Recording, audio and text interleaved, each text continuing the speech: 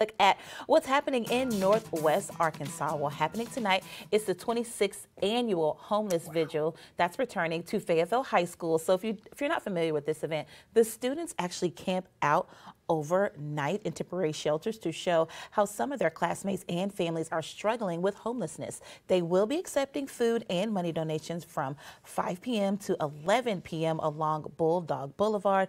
All donations will go to Fayetteville Public Schools Families in Transition program. Yeah, this is great. I can't believe it's 26 I years know, of yeah. this. Yeah, but keep it going strong there. And then you can get ready to party with us at Ultra Suede. Going to oh, be at George's oh, Majestic okay. Lounge this weekend. That's right. Celebrate Christmas a little bit early with us as we take the stage at George's. Uh, starting at 6 p.m. on Friday, and show up in your ugliest Christmas sweater if you want to participate in the Ugly Christmas Sweater Contest. First prize going home with a prize pack. Second and third place are also going to receive medals. Tickets are $8, and there will be prizes for the best costumes, as I've mentioned. So come out and have fun with us on Friday. Okay, fun. Jason, I know that you'll be there. Take some pictures yes, if you can, and we I can will. share them on Monday. I will. Hey. All right, well, if you're looking to take up a new form of exercise, the time is now to start training for the Hog Eye Marathon and relays that are happening in April. Race organizers are encouraging you to train with them. They're offering a 15 week training program that's going to start in January.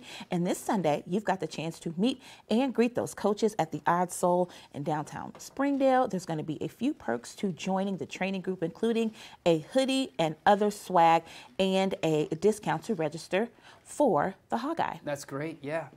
And we all know that Santa is very busy this time of year, but he is making time for one special place in Rogers. Next Saturday, you can head to Arkansas Swim Academy to swim with Santa. By attending Swim with Santa, you'll find uh, you will have fun in the family fun in the pool, professional photos with Santa, cookies, hot chocolate, crafts, prizes, silent auction, and more, all for the low, low price of $15 for a donation. All you need to do is register to guarantee some time with Santa, and the proceeds from this one are benefiting Hope Floats, which is a foundation that provides scholarships for high quality swim lessons to those who otherwise could not afford them. So stay tuned for the show next week. We did a segment with the Arkansas Swim Academy. You don't want to miss that one. All right, that sounds like fun.